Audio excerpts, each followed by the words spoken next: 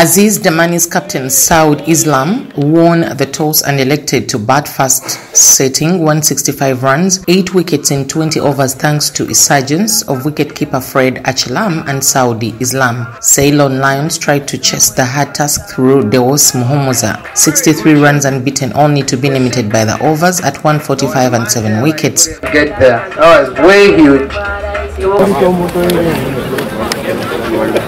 On form Simon Sesazi was voted man of the tournament before Uganda Cricket Association chairman Michael Nwagaba handed over Ziz Damani's fourth T20 trophy to captain Saud Islam and their fourth in a row.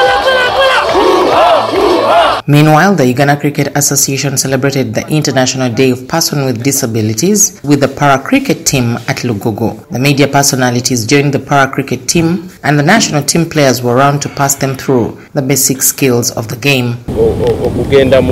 Later, the para cricket team divided into two teams, the Beasts and the S's, and the Beasts emerged winners with nine wickets.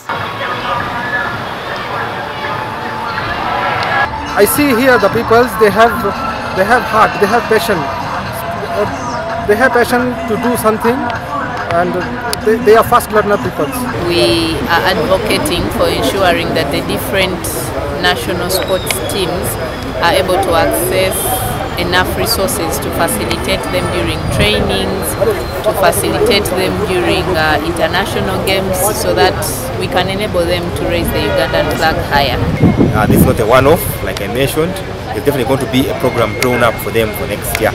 Even the ICC is looking to have a World Cup for the, for the PWDs. So all that falls in our strategy. The Ghana Cricket Association CEO Martin Ondeko, together with the National Female Youth MP Fiona Nyamtoro, handed the trophy to the winners. Report compiled by Ramadan Kakoza for the news.